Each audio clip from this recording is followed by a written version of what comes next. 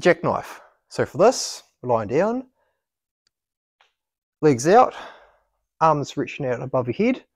From there, we basically try to touch our toes. So we come up, and then lowering back down, and making sure at the bottom of the movement, we don't fully rest on the ground. Keep everything slightly elevated as we come up. Try and touch the toes and back down. If you can't quite reach the toes, come down, touching part of the shin, it's perfectly fine. The goal is come up and really reach up towards its ceiling so those toes come in and then lower lowering back down.